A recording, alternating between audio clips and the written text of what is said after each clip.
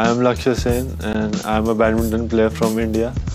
And with that, we're looking at badminton's next gen. India's next badminton superstar. With a naturally attacking playing style, Lakshya has had a breakthrough year in 2022. He secured his first HSBC BWF World Tour title as a senior player at the Super 500 Indian Open. And that is a great way to win his inaugural Indian Open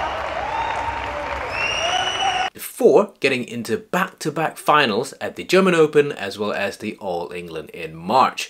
He then brought out his A game big time in a Thomas Cup final playing as the first men's singles by beating Indonesia's Anthony Ginting, giving India the perfect launch pad towards the incredible win at the Thomas Cup. Big wins and success like this doesn't come overnight.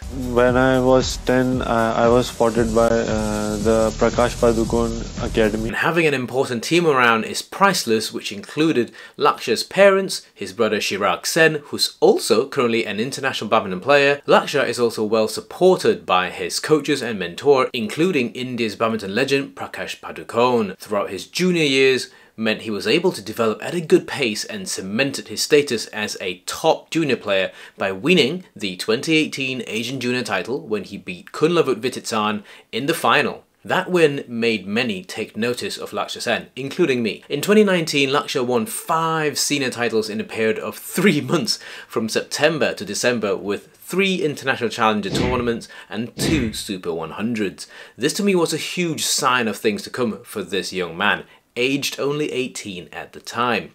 Fast forward to this year's Indian Open and you can see Lakshya soaking it all up and showing the world why he's leading the next generations in charge of men's singles in the badminton world, even beating the reigning world champion Loh Kean Yew in the final.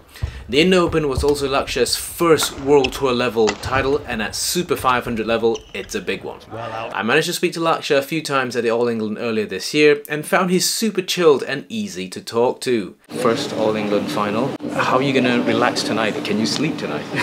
uh, yeah, I'll definitely try to sleep and... Uh... He's also very honest about his game and is acutely aware of what and where he needs to work on to get onto the next level. Uh, it was really hard to uh, put the shuttle down. I was making a crucial errors uh, like uh, lifting the shuttle out from the back and I couldn't get that control today in the first game so I think that was the difference. It's no easy feat getting to back-to-back -back finals at the German Open at the All England and this sign of maturity and pace of development certainly bodes really well for Lakshya. In terms of big match wins or giant killings, Lakshya has had wins against top players like Viktor Axelsen, Anders Antonsen, Anthony Ginting, Lee Zii Jia and Loh Kean Yew. And if we keep the big matches talking point, we certainly can't avoid understating Lakshya's contribution to India winning the Thomas Cup earlier in May. Lakshya actually lost three of the five matches he played in that campaign, losing to Viktor, Zijia and Chou Tien-chen, but certainly came good big time in the finals against Anthony Ginting. It's certainly not how you start, but certainly how you finish, and it's very certain that Lakshya is a big game player and certainly thrives in these situations. Unsurprisingly, Lakshya is now ranked inside the top 10 in the world and is by far the youngest player there.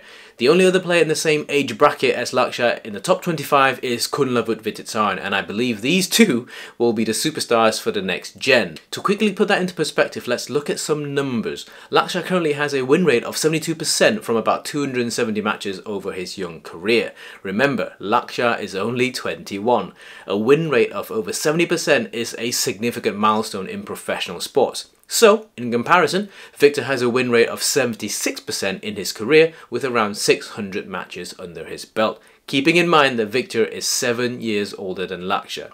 We then have the legends Lin Dan and Lee Chong Wei who have win rates of 83 and 84% respectively over their long and illustrious career. The standard bearer for 2022 is certainly Viktor in the men's singles department with a 97% win rate, winning 34 out of his 35 contested matches this year guess who he lost to. I'm certainly very excited to see Lakshya continue to develop and will be following his career very closely as he moulds himself into one of the best players in the world. He's certainly part of the next gen. Who should I be focusing on in the next episode of Next Gen? Let me know down in the comment section below and I will see you in the next one.